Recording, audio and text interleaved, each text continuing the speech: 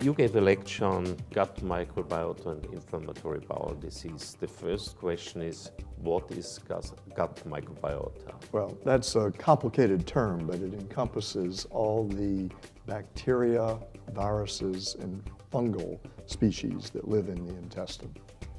What is the function of this bacteria in the gut?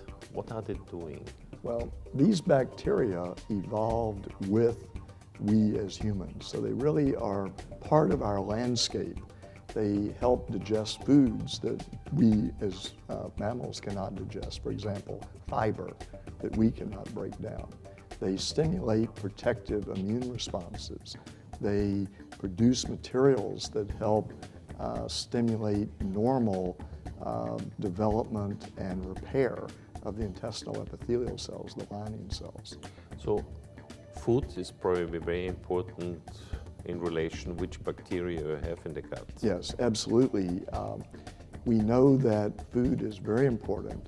Uh, as a baby is born, they're in a sterile environment and the development of their bacteria depends whether they're breastfed or formula fed. When food is introduced to a baby who's uh, being fed milk, there's a, a tremendous growth and uh, increased number of bacteria that as you eat normal food. And in adults?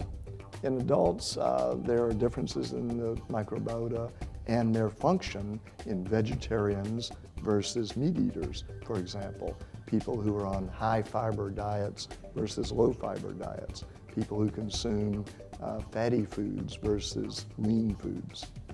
Now, what is wrong with microbiota in inflammatory bowel disease? Well, this is an area that's rapidly being explored, but we're getting new, more information all the time.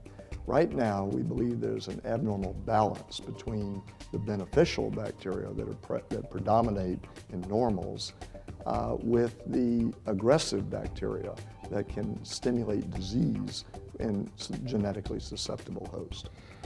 Is there a chance in the near future perhaps to use bacteria as treatment for inflammatory bowel disease? I think there's great opportunities in that area. We haven't yet captured that, but I think that the most physiologic, natural, and least toxic approach to treating is going to be in manipulating the diet.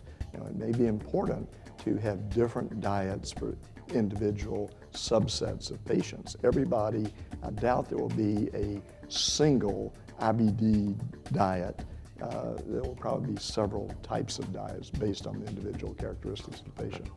Now, this is a fascinating future aspect, the potential treatment with good bacteria for disease, which so far had no cure. That, that is absolutely true. And as I say, right now we are basically hammering the immune system. And there, there's a lot of toxicity with that, infections, cancer. If we could use gut bacteria or food products, we, in theory, could, could have the same effect, maybe even better effects. Make a guess, how long will it take? Gosh, I think if we play our cards smartly, we could, within five years, come up with uh, treatments that may complement dietary treatments and, and bacterial treatments that complement uh, what we are currently doing on the immune response uh, treatment. But I really think in 10 years, we could make some fundamental treatments that hopefully would stand independently. Maybe after you induce remission, get disease under control with uh, normal immunologically oriented targets, but use the dietary and bacterial approach to keep that patient in remission. And in theory, and hopefully, this is my dream, to prevent disease in patients that are susceptible, i.e. family members of uh, Crohn's disease and okay. ulcerative patients. So we need another interview in five years. Well, I, I would be delighted to come back. Thank you.